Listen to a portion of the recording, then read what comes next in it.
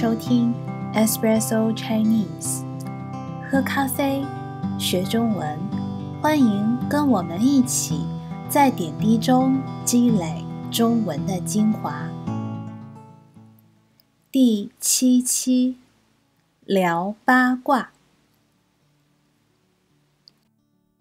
小白，我昨天晚上在电影院。看到你跟一个女孩子在一起，那个女孩子是你的女朋友吧？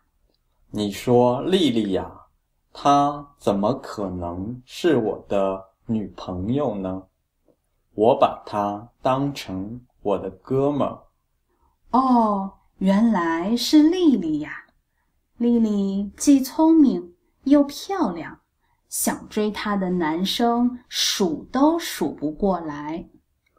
丽丽好是好，可是我和她从小一起长大，上同一个高中，然后上同一个大学，不知不觉我就把她当成我的哥们了。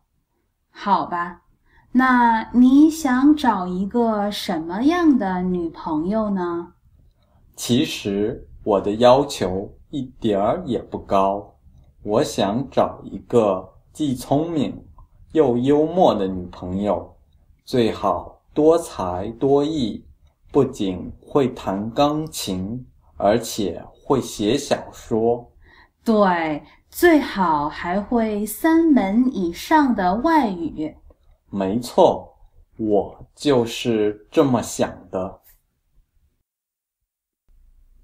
彩铃和小白在聊八卦，聊是聊天的聊，八卦 （gossip），比如谁和谁谈恋爱，谁和谁分手等等。那么，彩铃和小白。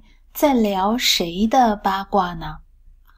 原来彩铃昨天晚上在电影院看到小白跟一个女孩子在一起，她以为那个女孩子是小白的女朋友。小白说：“你说丽丽呀，她怎么可能是我的女朋友呢？”我把他当成我的哥们儿，怎么可能？意思是不可能。哥们儿就是好朋友，主要是男性朋友，所以你也可以说兄弟。所以小白把丽丽当成他的哥们儿，也就是说，他没有把丽丽。当成女生，把什么当成什么，这是很重要的说法。比如，你可以说：“我把图书馆当成家，从早到晚都在那里。”我把咖啡当成水，每天要喝好几杯。然后彩铃说。哦，原来是丽丽呀！原来表示以前不知道，但是现在知道了。比如，你可以说：“原来你是 PhD。”原来你会说法语。彩铃接着说：“丽丽既聪明又漂亮，想追她的男生。”数都数不过来。既和又用来连接两个不同的特点。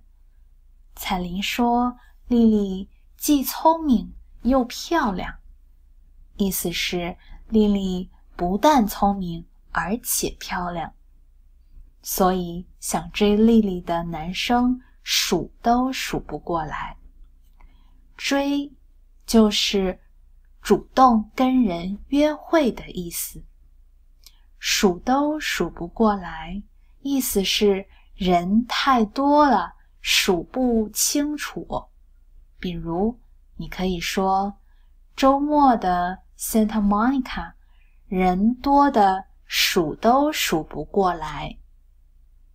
他得的 A 数都数不过来。那么，小白想追丽丽吗？小白说：“丽丽好是好，可是我和她从小一起长大。”上同一个高中，然后上同一个大学，不知不觉我就把他当成我的哥们儿了。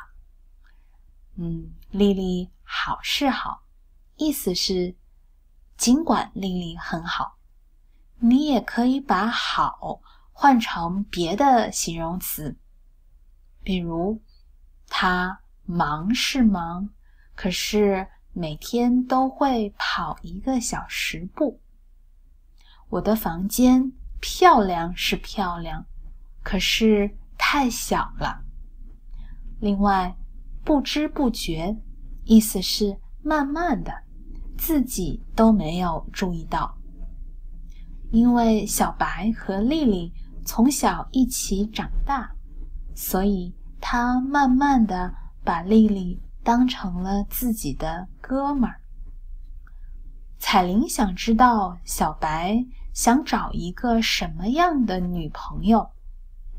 小白说：“其实我的要求一点儿也不高。”其实表示和对方的想法不一样。比如，你可以说：“其实我挺喜欢吃中国菜的。”你的意思是，你觉得对方认为你不喜欢吃中国菜。那么，小白觉得彩铃认为他的要求很高。要求在这里是希望或者期待的意思。比如，你可以说：“我父母对我的要求很高。”小白说。他的要求一点儿也不高，一点儿也不高，意思是非常低。那么，小白想找一个什么样的女朋友呢？他想找一个既聪明又幽默的女朋友，最好多才多艺，不仅会弹钢琴，而且会写小说。多才多艺是指有很多不同的才能，比如弹钢琴和写小说。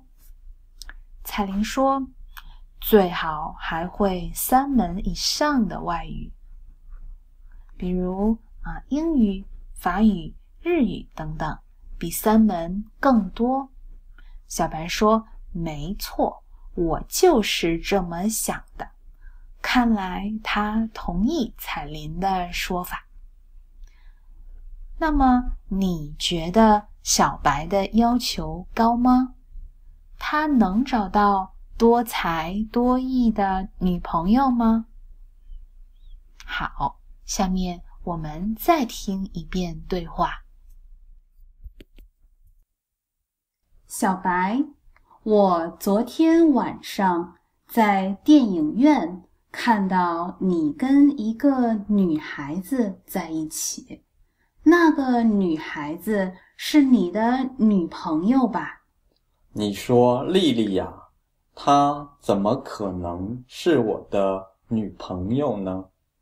我把他当成我的哥们儿。哦，原来是丽丽呀！丽丽既聪明又漂亮。想追她的男生数都数不过来。丽丽好是好，可是我和她从小一起长大，上同一个高中，然后上同一个大学，不知不觉我就把她当成我的哥们了。好吧。那你想找一个什么样的女朋友呢？其实我的要求一点儿也不高，我想找一个既聪明又幽默的女朋友，最好多才多艺，不仅会弹钢琴，而且会写小说。对，最好还会三门以上的外语。没错，我就是这么想的。If you like this video, please share it and subscribe for more. You can also follow us on Twitter and let us know if you have any questions when you learn Chinese. We will try our best to answer your questions in our future episodes. For conversation scripts, please go visit our website www.espressochinesepod.com. See you next time.